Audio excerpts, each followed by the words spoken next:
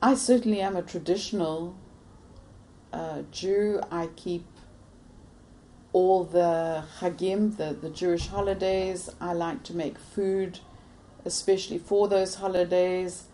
Uh, in my food repertoire, I certainly can make lots and lots of Jewish di- traditional dishes that I remember that my mother made us. I love Jewish food. I think that um, I,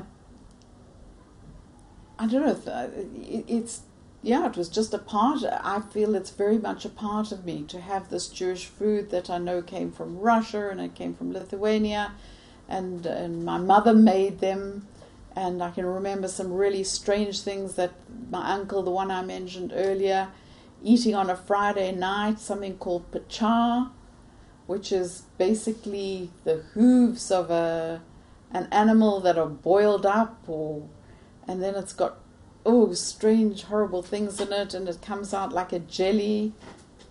And is it called ptcha? Anyway, but you know, I like perogen, if you've ever heard of that, and gefilte fish, and gehakte herring, and chopped liver, and borscht, and and those are things that I know I, I can make. I can't say that they're my kids' favorite foods but for me, uh, when I have uh, the the holidays here, the Jewish holidays, I like to serve traditional food, um, and I stay that way. So, And yeah, what, what, Jewish food's good. and what is your favorite uh, Jewish dish? What you prepare? That I prepare has to be chopped liver. And how do you do it? Um, well, I do it with chicken livers, although it can be made with calf's liver, but it's very, very strong then. Um, but I take chicken livers and they are fried in oil because I do keep uh, milk and meat dishes separate in my house, so I wouldn't be cooking it in butter, but I bet it tastes absolutely wonderful in butter. But I would use oil and uh, it's made with hard boiled eggs and fried onion and something called schmaltz.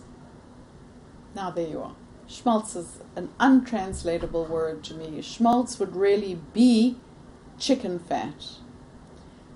I don't use chicken fat, but I would use schmaltz that's made out of carrot. Um, and celery that's boiled for a very, very long time with oil and margarine. And you boil and you boil and you boil and you boil for a long, long, long, long time. And that the carrot color goes into this oil and margarine.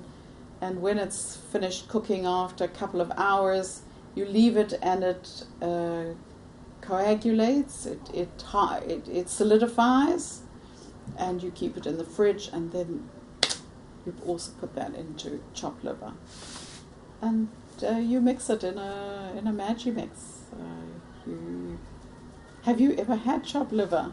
Because if you haven't, I promise you, next time you come back to Israel, you're coming to my home to eat chopped liver for dinner.